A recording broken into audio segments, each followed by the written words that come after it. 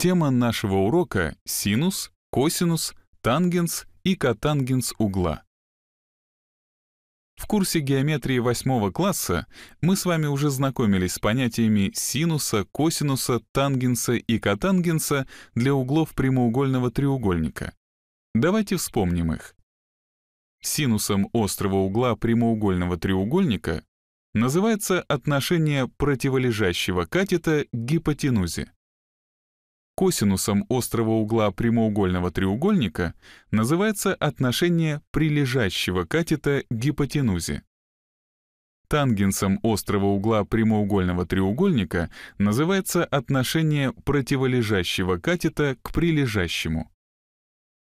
Еще мы с вами учили таблицу синусов и косинусов для углов в 30, 45 и 60 градусов. Давайте вспомним ее. Сегодня на уроке мы познакомимся с понятиями синуса, косинуса, тангенса и котангенса произвольного угла из промежутка от 0 до 180 градусов. Построим в прямоугольной системе координат полуокружность, радиус которой равен единице, так чтобы центр этой полуокружности совпадал с началом координат. Такую полуокружность мы назовем единичной полуокружностью. Из точки О давайте проведем произвольный луч H. Этот луч пересекает полуокружность в точке М с координатами x и y. Угол между лучом H и положительным направлением оси OX обозначим за альфа. Если луч H совпадает с положительным направлением оси OX, то угол альфа равен нулю градусов. Если луч H совпадает с осью OY, то угол альфа равен 90 градусам. Если луч H совпадает с отрицательным направлением оси OX, то угол альфа равен 180 градусам. Опустим из точки M перпендикуляр на ось OX и рассмотрим прямоугольный треугольник OMD. Запишем элементы этого треугольника. Поскольку радиус полуокружности равен единице, значит ОМ равно единице. Так как координаты точки М равны x и y, то очевидно, что МД равно y, а ОД равно x. Тогда синус угла альфа равен МД, деленное на ОМ, и равно y косинус угла альфа равен отношению ОД на ОМ и равен x. Мы получили, что синус острого угла равен ординате точки М, а косинус угла альфа равен абсциссе точки М. По этим же формулам вычисляются синус и косинус для углов в 90 и 180 градусов. Таким образом, мы получили, что для любого угла альфа из промежутка от 0 до 180 градусов синусом угла альфа называется ордината y точки m, а косинусом угла альфа — абсцисса x точки m. Поскольку речь у нас идет о единичной полуокружности, то ордината точки может изменяться от нуля до единицы. Значит, и синус угла альфа может принимать значение от нуля до единицы. Абсцисса точки М может изменяться от минус до плюс единицы. То есть и косинус угла альфа из промежутка от 0 до 180 градусов может изменяться от минус до плюс единицы. Решим задачу может ли абсцисса точки единичной полуокружности быть равна 0,5, 1 четвертая, минус 1 вторая, 4, 5? Может ли ордината точки единичной полуокружности быть равна 0,7, 1 третья, минус 1 четвертая, 3, 7? Решение. Поскольку полуокружность единичная, значит абсцисса точки должна принадлежать промежутку от минус до плюс единицы. то есть абсцисса точки может быть равна 0,5, 1 четвертая, минус 1 вторая, но не может быть равна 4 и 5. Поскольку полуокружность располагается выше оси ОХ, то ординаты точек могут быть только из промежутка от нуля до единицы. То есть ордината точки может быть равна 0,7, 1 третья, но не может быть равна минус 1 четвертой, 3, 7. Дополним известную нам таблицу синусов и косинусов для углов в 30, 45 и 60 градусов значениями синуса и косинуса для углов в 0, 90 и 180 градусов. Для определения синуса и косинуса 0 градусов давайте рассмотрим луч ОА. На единичной полуокружности точка А имеет координаты 1, 0, значит синус угла в 0 градусов равен ординате точки А и равен нулю. А косинус 0 градусов равен абсциссе точки А и равен единице. Найдем теперь значение синуса и косинуса угла в 90 градусов. Этот угол задается лучом ОБ. Координаты точки B равны 0,1. Значит, синус 90 градусов равен единице, а косинус равен нулю. Проводя аналогичные рассуждения, получим, что синус 180 градусов равен нулю, а косинус 180 градусов равен минус единице. Рассмотрим задачу. Определить координаты точки М, если угол альфа равен 30 градусам. Угол альфа равен 45 градусам. Угол альфа равен 60 градусам. Решение. Мы с вами показали, что координаты точки М соответственно равны косинусу и синусу угла альфа. То есть абсцисса точки М равна косинусу 30 градусов и равна корень из 3 на 2. Ордината точки М равна синусу угла альфа и равна 1 второй.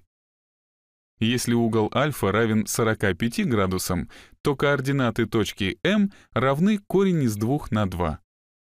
Если угол альфа равен 60 градусам, то координаты точки равны 1 вторая корень из 3 на 2. Решим теперь обратную задачу.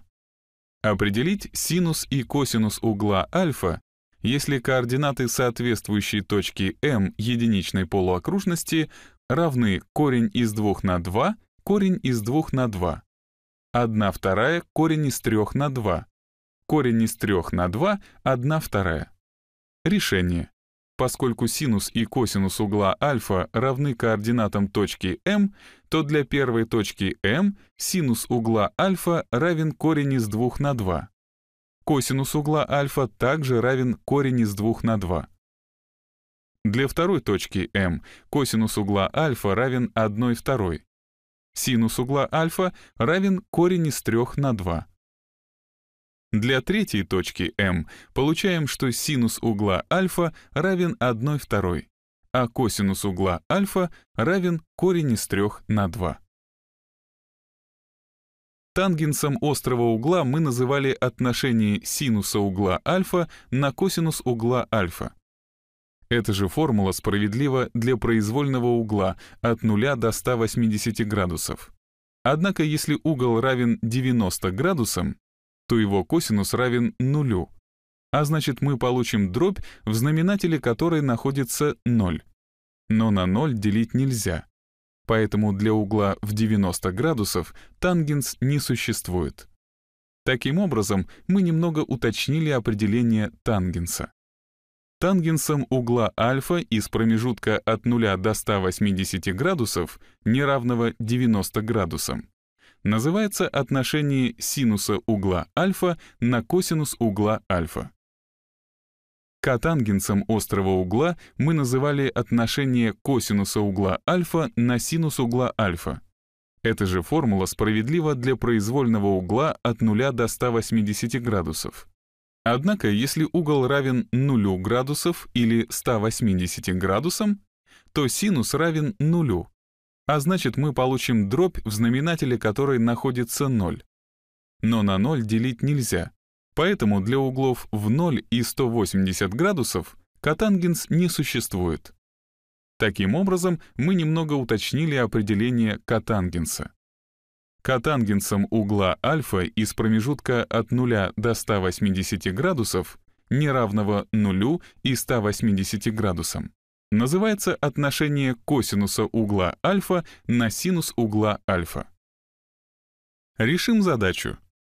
Найти тангенс и котангенс угла альфа, если координаты соответствующей точки М единичной полуокружности равны корень из 2 на 2 корень из 2 на 2, 1 вторая корень из 3 на 2, корень из 3 на 2 1 вторая, 0, 1 и 1, 0. Решение. Воспользуемся формулой тангенс альфа равен отношению синуса угла альфа на косинус угла альфа. Синус угла альфа — это ордината соответствующей точки М, то есть в первом случае синус альфа равен корень из 2 на 2. Косинус угла — абсцисса точки М, то есть в первом случае косинус равен корень из 2 на 2 тогда тангенс угла альфа равен единице. Котангенс угла альфа тоже будет равен единице. Рассуждая аналогично, найдем, что тангенс альфа для точки М с координатами 1 2 корень из 3 на 2 равен корень из 3.